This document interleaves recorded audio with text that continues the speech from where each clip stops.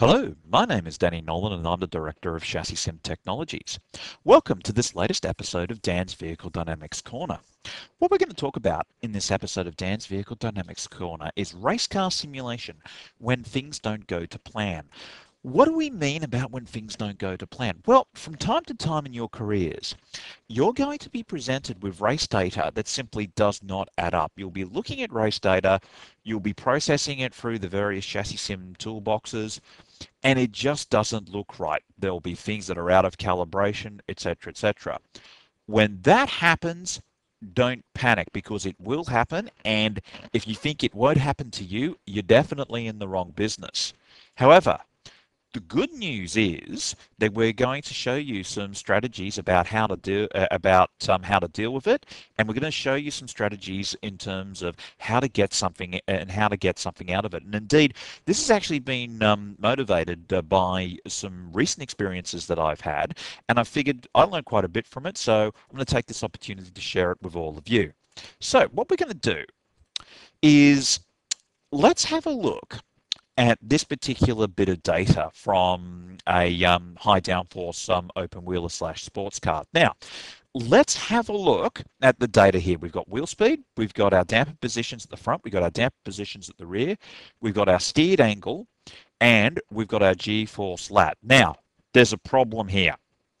Now, I'm going to give everyone just about 10 or 20 seconds to to think to see if they can figure it out and I'll be back with you very shortly.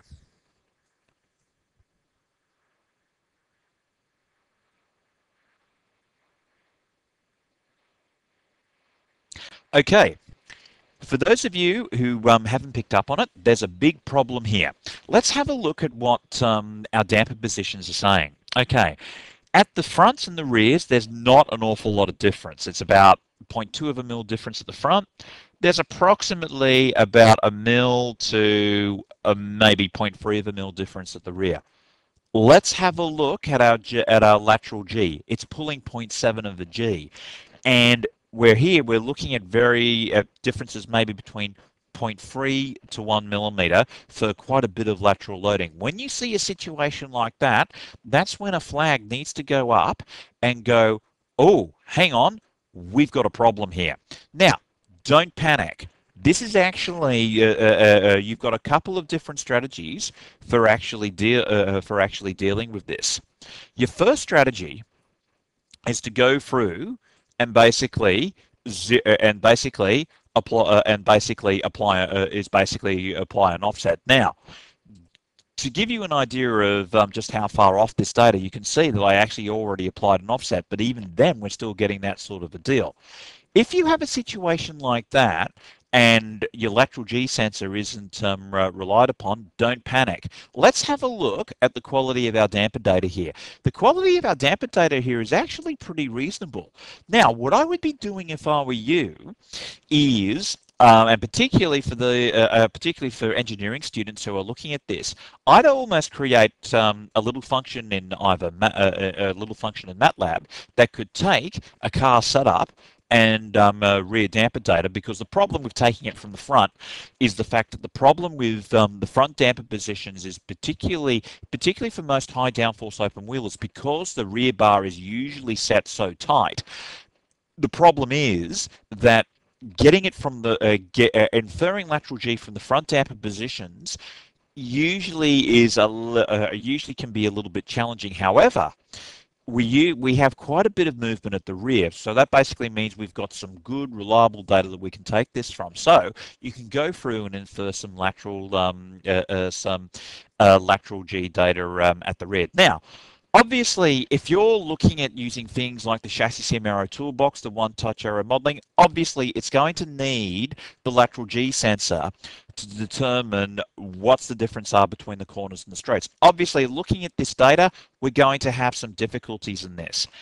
If you are presented with this deal, don't panic. There are some, actually, there are some really, really, really easy workarounds. Now, the first easy workaround that you can do is what I like to do is I like to take basically a bit of clean data from one of the fastest points in the circuit. So this is particularly a um, uh, this is particularly a fast bit of the circuit. And what I will do at this point is that I'm going to go through and I'm going to do an aero hand calc in terms of CLA or downforce, CDA drag, and aero balance, just to get sort of a rough rule of thumb to go, right, this is what I should be expecting at this particular instant. Now, to quote the Joker from the Dark, uh, uh, to quote the Joker from the Batman and the Dark Knight, I'm going to show you a little bit of a magic trick. What I do is I'm going to pull up an aero map that is similar to what I would be expecting from the actual card. Now, in this particular instance, I've pulled up the GP2 2011 map. Now, here's the key.